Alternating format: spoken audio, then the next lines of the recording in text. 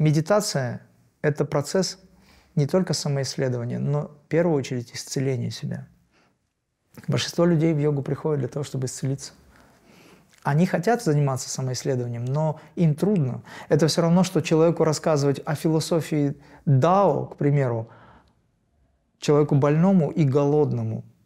Его надо накормить или хотя бы снизить боль, да, накормить обязательно, снизить боль, чтобы он хоть был адекватный, на двоечку хотя бы по десятибалльной шкале, и тогда он хоть что-то услышит.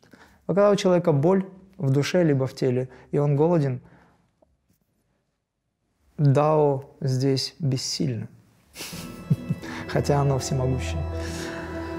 Это просто шутка, но это правда на самом деле.